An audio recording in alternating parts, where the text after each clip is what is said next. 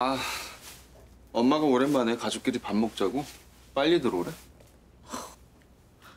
사모님 겨울이 나갔다고 축하 파티라도 하시려나 보네.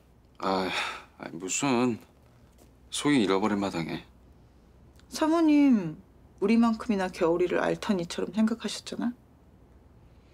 뭐 그렇긴 하지. 근데 유진 씨 축하 파티는 나랑 해야 되는 거 아닌가?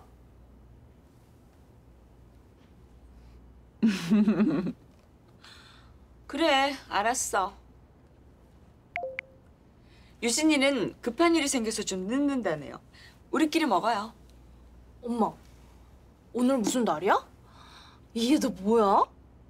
얘는 꼭 무슨 날이어야만 먹니? 그냥 오랜만에 우리 집안 사람들만 모인 기념으로 준비했지? 집안 사람?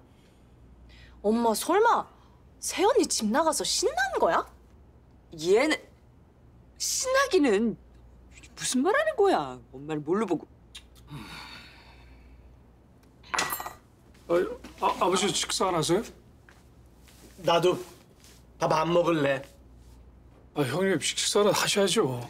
겨울이 없어서 밥맛이 없어.